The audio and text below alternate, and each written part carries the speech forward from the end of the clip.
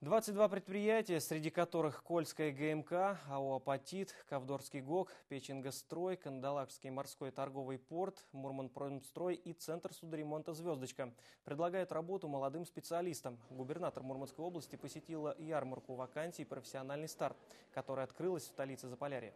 Ярмарка вакансий для выпускников высших и средних учебных заведений проводится каждый год. Это отличный шанс быстро трудоустроиться на востребованную работу.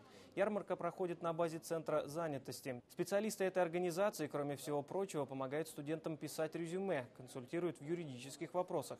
Правда, должности все больше предлагаются рабочие. На такие места охотно идут далеко не все.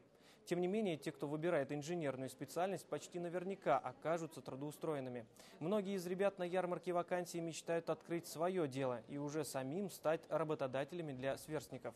В связи с этим губернатор Мурманской области дала поручение начальнику управления государственной службы занятости Константину Бережному установить стенд с перечнем мер, с помощью которых правительство оказывает помощь начинающим бизнесменам.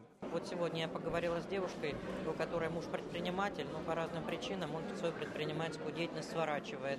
Мне кажется, что здесь еще не хватает стенда комитета или ныне Министерства промышленности и инвестиций, э, которые бы рассказали о мерах поддержки именно предпринимателям, о системе грантов, системе поддержки бизнеса, социального предпринимательства. Это бы очень дополнило э, информационные возможности ярмарки вакансий. Думаю, в следующем году или, может быть, даже буквально на днях мы этот пробел ликвидируем.